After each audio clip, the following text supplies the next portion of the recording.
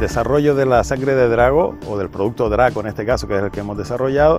es para desarrollar en los ámbitos farmacéuticos, cosméticos y dietéticos de los usos de la sangre del drago, que su uso fue eh, muy importante desde la conquista, o antes de la conquista incluso, hasta finales del siglo XVIII, cuando al haberse casi exterminado los, los antiguos dragonales de todas las islas, pues se dejó de utilizar. Ahora vamos a recuperar este uso sin dañar el árbol para volver a disfrutar de sus bondades como planta medicinal legendaria. Con esta patente de, Laboratorio Espejo Seca vamos a resolver el problema de que una planta con múltiples propiedades medicinales vuelva a ser rescatada del olvido.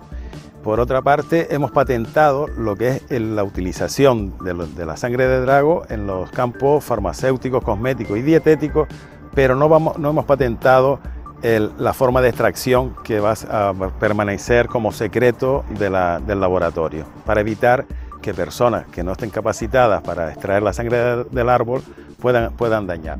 Las propiedades más importantes de la sangre de drago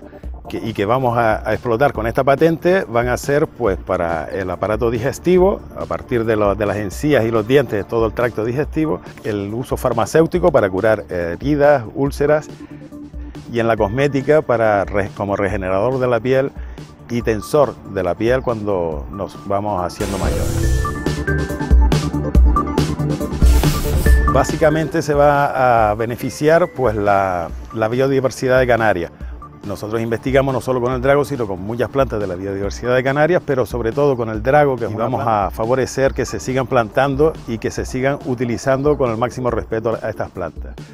Por otra parte, se va a beneficiar el sector de la ciencia, la investigación, porque a partir de esta patente se van a desarrollar una serie de investigaciones que son necesarias para argumentar correctamente la venta del, del draco